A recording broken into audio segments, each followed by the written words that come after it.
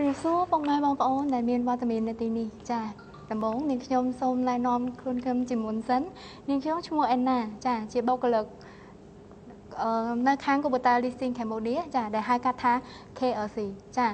អឺថ្ងៃនេះផងដែរហេតុអីបានខាងនាងខ្ញុំ ខាងក្រុមហ៊ុនអឺតម្រូវឲ្យមានការធ្វើការផ្សាយបន្តផ្ទាល់ចេញពីខាង page Kubota កម្ពុជា Club ចាអឺទី1ខាងនាងខ្ញុំ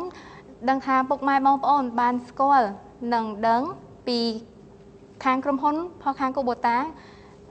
យូរមកហើយចាតែនៅពេលនេះខាងក្រុមហ៊ុនផលខាងកូបូតាឥឡូវហ្នឹងគឺខាងគាត់មានជាក្រុមហ៊ុនបងមលុះដោយខ្លួនឯងផ្ទាល់ហើយខាងក្រុមហ៊ុនបងមលុះដោយខ្លួនឯងផ្ទាល់ ទៀតសោកហ្នឹងខាងយើងគឺមានលក្ខខណ្ឌងាយងាយសម្រាប់អតិថិជនទូទៅដែលគាត់ចង់ធ្វើការបង់មលួ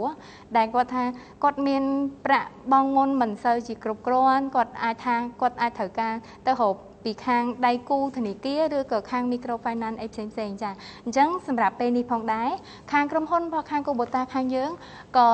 ចូលមក ជាកម្លាំងចិត្តដើម្បីជួយដល់ពុកម៉ែបងប្អូនដើម្បីឲ្យមានម៉ាស៊ីនគ្រឿងចាក់កសិកម្មដែលគាត់ចង់បាន នៅសេរីណាមួយ នៅនៅនៅផ្ទះរបស់គាត់ចាអញ្ចឹងនៅថ្ងៃនេះផងដែរខាងយើង មានជាប្រម៉ូសិនពិសេសហើយក៏ដូចជារង្វាន់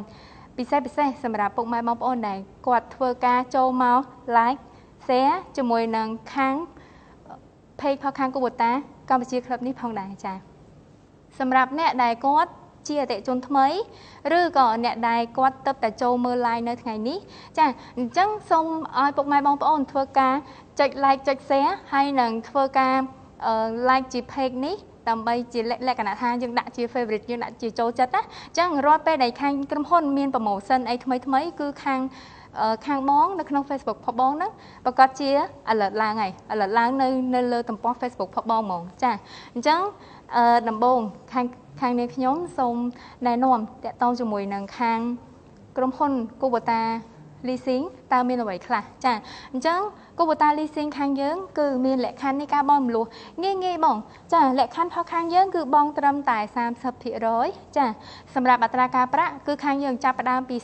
0.9 ភាគរយឡើងទៅចាអញ្ចឹងរយៈពេលនៃការបង់មលុខខាងយើងគឺមានរយៈពេល4ឆ្នាំចារយៈពេល4ឆ្នាំបងអញ្ចឹងសម្រាប់អតិថិជន ដែលគាត់ចង់ដឹងថាអញ្ចឹងក្រៅពីលក្ខខណ្ឌនឹងទាំងអស់ហើយតើគាត់ត្រូវមានចំណាយថ្លៃឯកសារអីដែរអត់ចាចឹងខាងយើងអត់មានទេណាបងណាខាងខ្ញុំចង់សូមជំរាបជំរាបប្រាប់បងពុកម៉ែបងប្អូនឲ្យហើយគឺខាងយើងពុំមានថ្លៃសេវាឯកសារអ្វីទាំងអស់ទោះជាពុកម៉ែបងប្អូនសម្រាប់ចិត្ត ធ្វើការសាក់លបងប្រើជាមួយនឹងសេវាកម្មខាង KLC យើងខ្ញុំឬក៏ពេលដែលខាងលោកគ្រូបានចុះទៅយកព័ត៌មានពីខាងបងហើយប៉ុន្តែខាងបងក៏សម្រេចចិត្តថាខាងបងអត់សុំអត់យកវិញដកលុយវិញចាអញ្ចឹងខាងយើងខ្ញុំក៏មិនមានទៀមទាថ្លៃសេវាឯកសារអីបន្តទៀតដែរចាហើយមួយវិញទៀត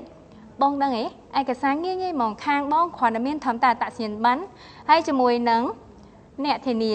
ចាអ្នកធានាខាងខ្ញុំអត់ត្រូវការប្លង់ដីផងបងទេណាបងណាអញ្ចឹងរាល់បងបងរកណាបានបងឯងគិតមើលបងបាន